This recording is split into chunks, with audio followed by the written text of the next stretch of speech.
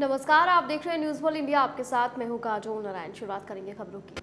चार धाम यात्रा आज से शुरू हो गई है। गंगोत्री और यमुनोत्री मंदिर के कपाट आज खुल गए हैं। इस दौरान चारधाम यात्रा के लिए कोविड की नेगेटिव जाँच रिपोर्ट ज़रूरी नहीं होगी। यात्रियों की सुरक्षा को देखते हुए चारधाम यात्रा मार्गों पर रात 10 बजे से सुबह चार बजे तक वाहनों का आवागमन बंद रखे जाने का भी निर्णय लिया गया। इस साल चारधाम यात्रा के लिए उत्तराखंड आने वाले तीर्थयात्रियों को कोविड की नेगेटिव जाँच रिपोर्ट या टीकाकरण प्रमाण पत्र साथ रखना अनिवार्य नहीं है। तीर्थ यात्रा पर निकलने से पहले श्रद्धालुओं के लिए पर्यटन विभाग के पोर्टल पर रजिस्ट्रेशन करना अनिवार्य होगा। राज्य के बाहर से आने वाले तीर्थयात्रियों की कोविड की नेगेटिव जाँच रिपोर्ट या टीकाकरण प्रमाण पत्र की जाँच अगले आदेश तक अनिवार्य नहीं होगी। ऐसा इसलिए किया जा रहा है ताकि श्रद्धालुओं को आगमन पर किसी प्रकार की असुविधा न हो। और राज्य की सीमाओं पर भीड़ न जमा हो। हालाँकि अधिकारियों से स्थिति पर लगातार नज़र रखने के लिए कहा गया है। तो चारधाम यात्रा की शुरुआत आज से हो चुकी है, जिसको लेकर श्रद्धालु जो हैं वो काफ़ी उत्साहित नज़र आए हैं। लेकिन इस बार जो कोविड नेगेटिव रिपोर्ट है, वो अनिवार्य नहीं है। अगर आप जाते हैं और आपसे रिपोर्ट मांगी जाती है तो वो अनिवार्य नहीं है। अगले आदेश तक ऐसा फैसला लिया गया है। इसके पीछे कारण दिया गया है कि जो राज्य की सीमा है, वहाँ भीड़ ना हो, इस वजह से बड़ा फैसला लिया गया है, क्योंकि एक के बाद एक कोरोना के मामले फिर से बढ़ते हुए नज़र आ रहे हैं।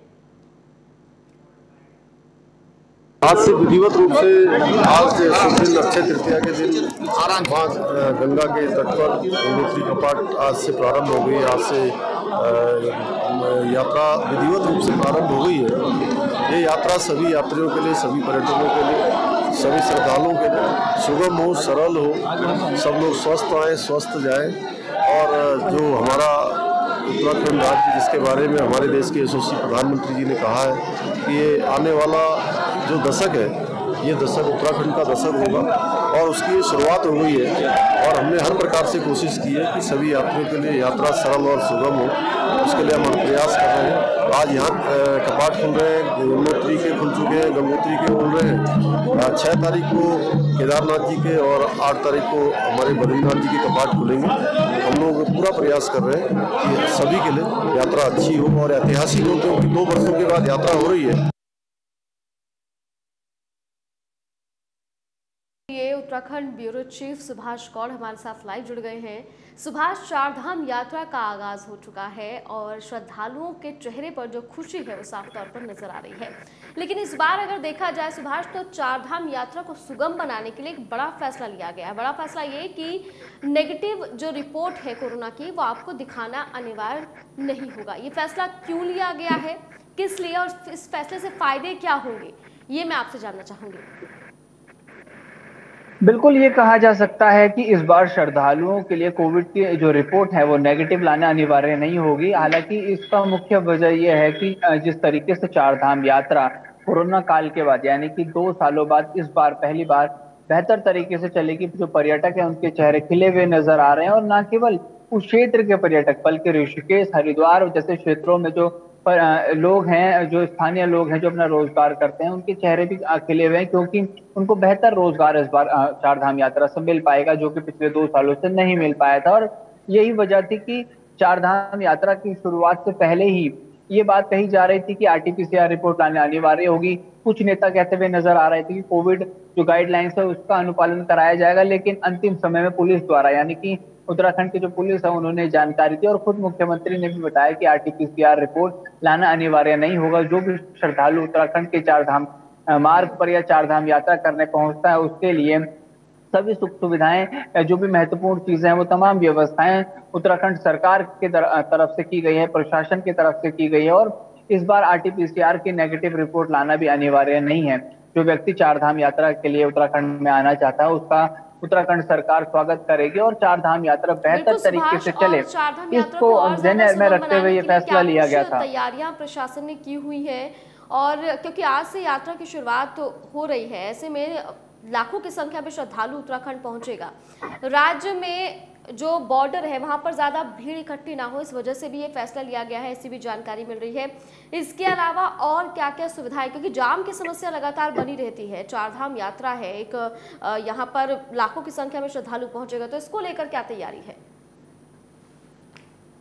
बिल्कुल ये कहा जा सकता है कि गंगोत्री धाम और यमुनोत्री धाम के कपाट आज खोल दिए गए और उसके बाद से ही यानी कि जो यात्री हैं वो गंगोत्री और यमुनोत्री धाम के लिए प्रस्थान करना शुरू कर दिया और कुछ जो श्रद्धालु था, यात्री थे वो इन स्थानों पर पहुँच भी गए लेकिन बड़ी चुनौती राज्य सरकार के पास, पुलिस प्रशासन के पास और जिला प्रशासन के पास चार धाम यात्रा को सुचारू रूप से चलाने की होती है, बेहतर व्यवस्था उन श्रद्धालुओं को उन स्थानों पर कराने की होती है और यही वजह है कि जो यात्री हैं वो काफ़ी परेशान परेशान नज़र आते थे लेकिन इस बार क्योंकि सरकार चाहती है कि चार धाम यात्रा बेहतर तरीके से उत्तराखंड में चले और इसके साथ ही पर्यटन को भी बढ़ावा मिले और तमाम जो पर्यटक उत्तराखंड की तरफ़ अपना रुख करते हैं उनकी संख्या में इजाफा हो ताकि इससे प्रदेश को भी फ़ायदा हो और हम्म। जो स्थानीय लोग हैं जो रोज़गार जिनका केवल चार धाम यात्रा से चलता है और केवल छह महीने की ये कहा जा सकता है यात्रा में ही वो अपना पूरे साल भर का खर्चा निकालते हैं तो हम्म। सरकार भी चाहती है कि कोरोना काल के बाद जो व्यवस्थाएँ पिछले दो सालों से चरमराई हुई थी वो व्यवस्थाएँ फिर से ठीक हो पाए और यही वजह है कि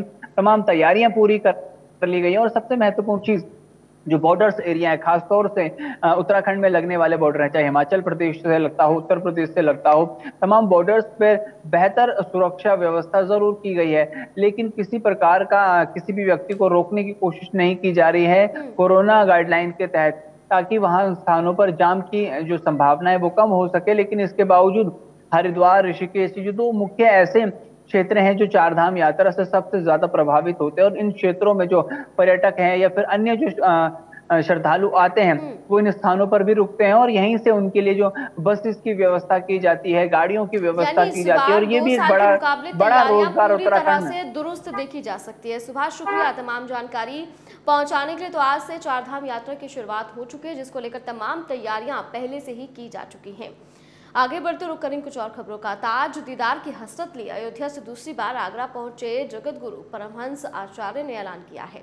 कहा कि जब तक ताज दीदार की अनुमति नहीं मिलती, तब तक जल ग्रहण नहीं करेंगे। ताज दीदार के लिए जाते समय आचार्य जगत गुरु को आगरा प्रशासन ने रास्ते में ही रोका था। प्रशासन ने पुलिस सुरक्षा में आचार्य परमहंस को आगरा के कीठम झील गेस्ट हाउस में रखा है। आचार्य परमहंस ने कीठम गेस्ट हाउस से ही एक वीडियो वायरल किया है।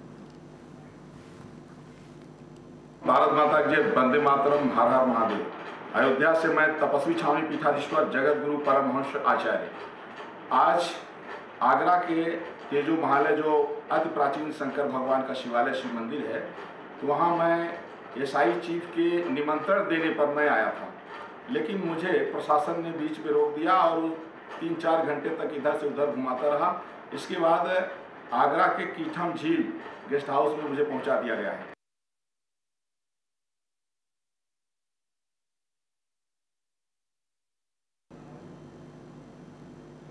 नागरिक मंत्रालय की टीम ने धनीपुर हवाई अड्डे को दूसरे शहरों में उड़ान भरने के लिए हरी झंडी दे दी है। उड़ान कब और इनका संचालन कौन सी कंपनी करेगी, इसका फैसला प्रदेश सरकार और केंद्रीय नगर विमान मंत्रालय के अधिकारियों द्वारा दिल्ली में मई के महीने में तय किया जाएगा। केंद्रीय नगर विमान मंत्रालय की बैठक में ये भी निर्णय लिया जाएगा कि किस कंपनी को विमान संचालन के लिए लाइसेंस दिया जाए। शुरुआत में उन्नीस सीट वाले छोटे विमानों को ही उड़ान भरने की इजाज़त दी जाएगी।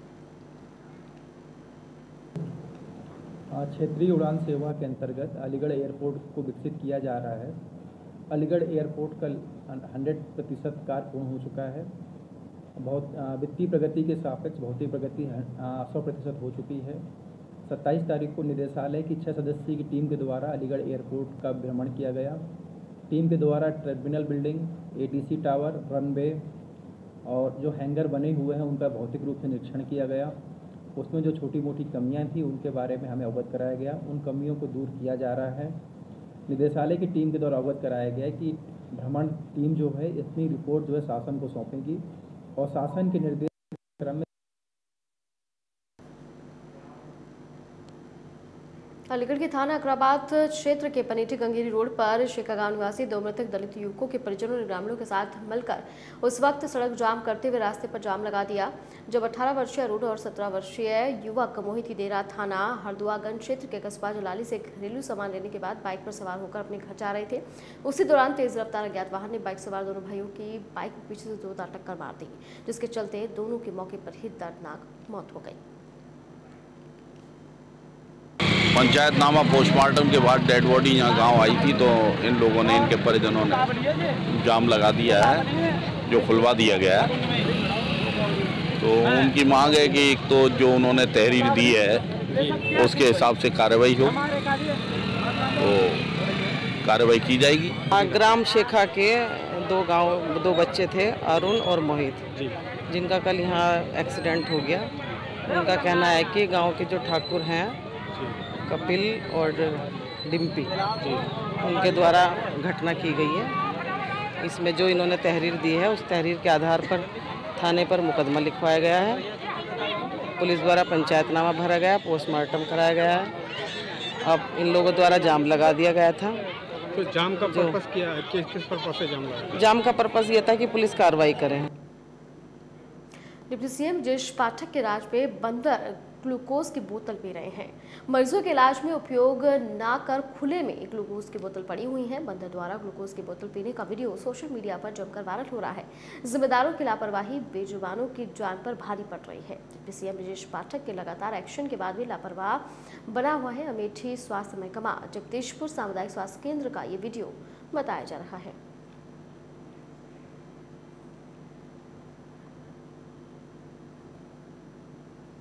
अमेठी में महिला सशक्तिकरण पूरी तरह से फेल है। थाने आई फरियादी महिला ज़मीन पर बैठी रही। बगल में कुर्सियाँ खाली पड़ी हुई थी, लेकिन साहब कुर्सी पर बैठे रहे और महिला को ज़मीन पर बिठा दिया। महिला का ज़मीन पर बैठे रोते हुए वीडियो वायरल हुआ है।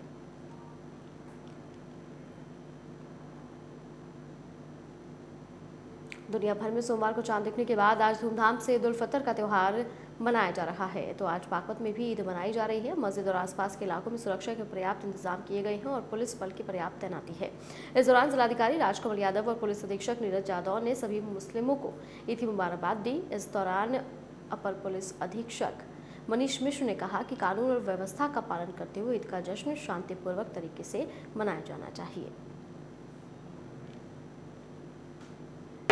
कि आज जो का त्यौहार है। उसको लेकर के पूरे जनपद में हमारी मुकम्मल व्यवस्था की गई है हम लोग यहाँ बड़ा ईदगाह पर हम और एडीएम साहब एस डी एम साहब और एस साहब समस्त लोग यहाँ पर मौजूद हैं। ईद का पर्व शांतिपूर्वक संपन्न हो रहा है। हमारा जगह जगह अदा की जा रही है। मेरे पाकिस्तान के माध्यम से मैं सबको पुलिस प्रशासन की तरफ़ से ईद की बहुत सारी शुभकामनाएँ देता हूँ। आशा करता हूँ।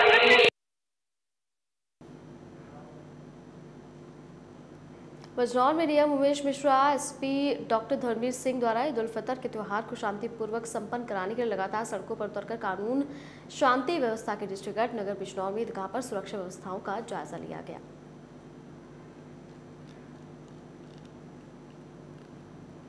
बुलंदशहर में ईद उल फितर को सकुशल संपन्न कराए जाने के लिए ईदगाहों पर साफ़ सफ़ाई की विशेष व्यवस्था के साथ ही अन्य व्यवस्थाएँ भी सुनिश्चित कराई गई।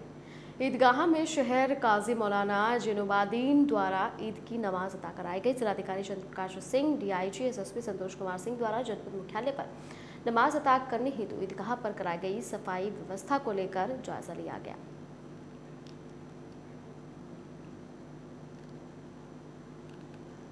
गौना पुलिस और बदमाशों के बीच मुठभेड़ हो गई। इस मुठभेड़ में पच्चीस हज़ार के दो इनामियों को पुलिस ने गिरफ़्तार किया है। मुठभेड़ के दौरान एक गोली लगी। घायल बदमाश का जिला अस्पताल में इलाज चल रहा है। एक अवैध तमंचा दो ज़िंदा कारतूस इनके पास से बरामद हुए हैं।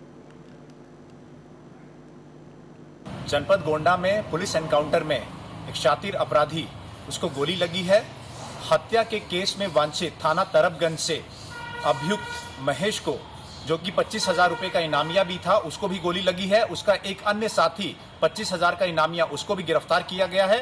सराहनीय कार्य करने वाली हमारी एसओजी टीम और थाना तरबगंज टीम को रिवॉर्ड भी दिया जा रहा है और जनपद गोंडा में इसी तरीके से अपराध एवं अपराधियों के खिलाफ अभियान चलता रहेगा। पीलीभीत में भी ईदगाह पर ईद उल फितर की नमाज़ अदा की गई। प्रशासन की ओर से सुरक्षा के कड़े इंतज़ाम किए गए। जिला प्रशासन की ओर से ईदगाह के बाहर एक कैंप लगाया गया, जो आज जिलाधिकारी एसएसपी ने लोगों को गले मिलकर ईद की बधाई दी। नगर पालिका की ओर से भी साफ़ सफ़ाई का विशेष इंतज़ाम किया गया था। ईद के मद्देनज़र आज पूरे जनपद में पिछले कई दिनों से पुलिस और प्रशासन की पूरी व्यवस्था हम लोगों ने कर रखी थी चाहे वो साफ़ सफ़ाई की बात हो चाहे वो सुरक्षा की बात हो हर चीज़ को बिल्कुल सही तरीके से पालिका की मदद से करा हुआ था। और आज इस मौके पे भी मेरे और पुलिस अधीक्षक महोदय द्वारा यहाँ पे मिलके सबको मुबारकबाद दी गई ईद की मुबारकबाद दी गई। और हम लोग यही दुआ करते हैं कि जनपद में प्रदेश में अमन शांति का जो ये संदेश त्यौहार लाता है ये अमन शांति उसी तरह बरकरार रहे और सब लोग मिलजुल के पहले तो सभी पीलीभीत वासियों को एवं पूरा उत्तर प्रदेश के सभी मुसलमान भाइयों को ईद की ढेर सारी शुभकामनाएँ, मुबारकबाद देना चाहता हूँ। आज हम और डीएम साहब यहाँ ईदगाह में मौजूद हैं।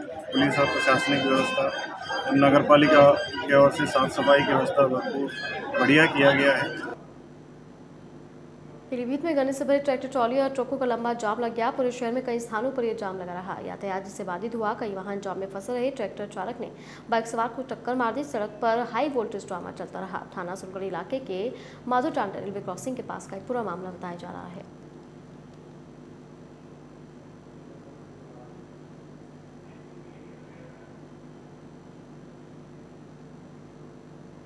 पीलीभीत में पीएम मोदी के खेलो इंडिया प्रोजेक्ट के तहत एक जिला, एक खेल को लेकर तैराकी के लिए डीएम पुलकित खरी ने तैराकियों के लिए तरणताल का शुभारंभ किया। अब पीलीभीत में तैराकी करने वाले खिलाड़ियों के लिए खुशखबरी है, जिनको मेडिकल परीक्षण करने के बाद उनका तरणताल में प्रवेश दिया जा सकेगा। पिछले लगभग दो सालों से कोरोना की वजह से सभी बच्चे स्विमिंग पूल का आनंद नहीं ले पा रहे थे और इस दौरान कुछ ज़रूरी रेनोवेशन के काम भी यहाँ पूल पे कराए गए हैं और इस रेनोवेशन के बाद क्योंकि कोरोना अब कम हो गया है तो यहाँ पे स्विमिंग पूल की आज शुरुआत हुई है और इसमें सुबह और शाम दोनों समय है। बच्चे बच्चे यहाँ पे आ सकते हैं स्विमिंग सीख भी सकते हैं, यहाँ पे लाइफ गार्ड भी अवेलेबल हैं। साथ ही साथ क्योंकि गर्मी बहुत हो रही है तो जो लोग जानते हैं स्विमिंग वो भी आके यहाँ पे स्विमिंग का आनंद ले सकते हैं और मेरी आपके ज़रिए ये निवेदन भी रहेगा शहरवासियों से कि इस गर्मी के समय में इस पूल से जुड़ें और आके स्विमिंग जैसी कला को सीखें भी और पानी में रह के गर्मी से भी अपने को निजात दें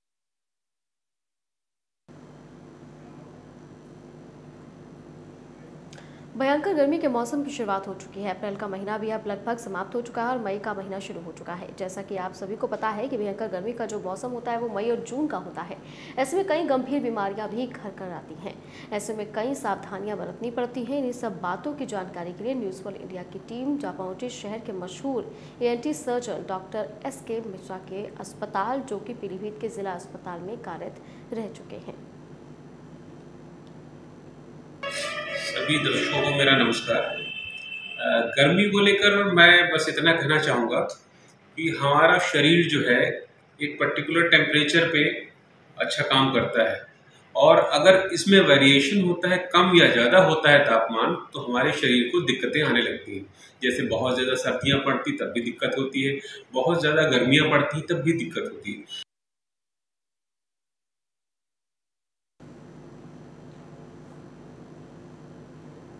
समूह पथराव और फायरिंग के डराने वाले वीडियो सामने आए हैं। तस्वीर में दिख रहा है कि पथराव और फायरिंग की आवाज़ सुनाई दे रही है। संघर्ष में आमने सामने लोग जुटते हुए नज़र आ रहे हैं। असमौली थाने के गाँव सदीनपुर का ये वायरल वीडियो बताया जा रहा है।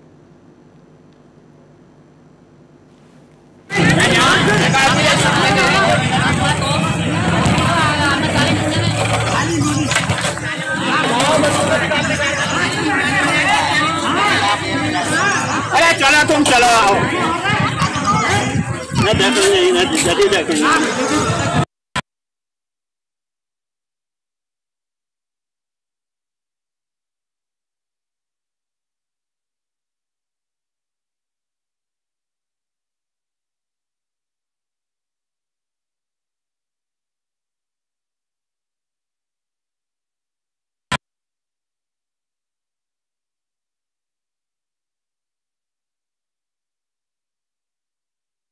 के पन्नूगंज थाना क्षेत्र के पचोकर गाँव में बीते रविवार की रात अधौरा थाना क्षेत्र के सीकरी गाँव से आई बारात में ऑर्केस्ट्रा में गाने को लेकर हुए विवाद के बाद बाराती पक्ष और घराती पक्ष में जमकर मारपिटाई हो गई, जिसके बाद एक दर्जन लोगों को चोटें आई हैं। आनंद फानंद मौके पर पहुँचे पुलिस ने सभी घायलों को सीएससी पहुँचाया। वहीं बारात में शामिल एक युवक सरोज शाह की मौत हो गई है।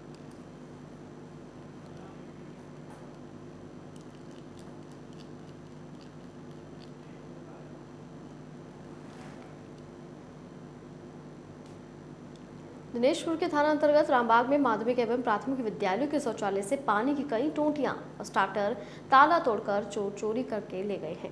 राजकीय माध्यमिक विद्यालय रामबाग एवं प्राथमिक विद्यालय रामबाग दोनों विद्यालयों से चोरों ने करीब पाँच हज़ार रुपये के ऊपर के सामान चोरी करके फरार है। फ़िलहाल पुलिस को चोरी की तहरीर दे दी गई है।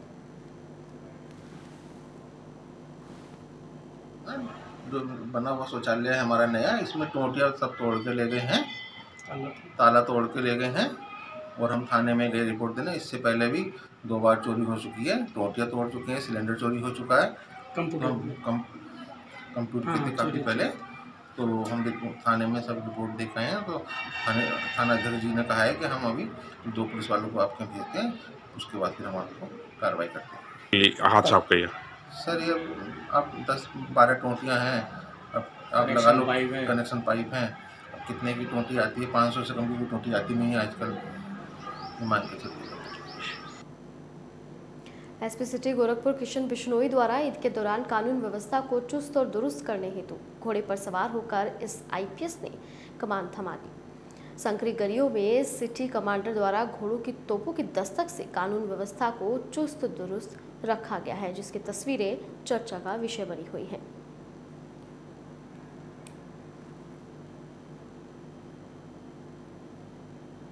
और इसी के साथ फ़िलहाल खबरों में इतना ही। आप बने रहिए न्यूज़ ऑल इंडिया के साथ।